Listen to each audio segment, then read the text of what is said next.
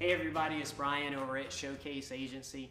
Let's say that you're going to buy your first home, you're pre-approved with the lender, you're out looking for homes.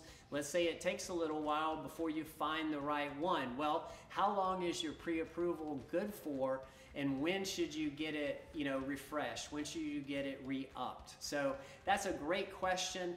Uh, even more important nowadays in such a competitive market where you're competing with other buyers uh, typically for a home that's for sale. So uh, let's talk about that.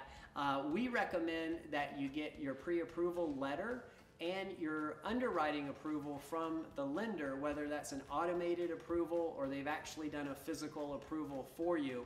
Uh, either way, we recommend that you get those uh, letters updated uh, every 30 to 45 days. The reason we say that is not because those documents have expired with the lenders, not because your credit report has expired or anything like that. Uh, what it refers to is nowadays uh, sellers and listing agents like to see that the loan officer has recently reviewed the file. So by refreshing your pre-approval letter and refreshing your uh, underwriting approval, that's going to uh, stand out to the seller. It's going to give you a better chance to get your offer accepted and that's going to be super helpful in such a competitive seller's market. So hope you found this help. Oh, one more thing before I forget.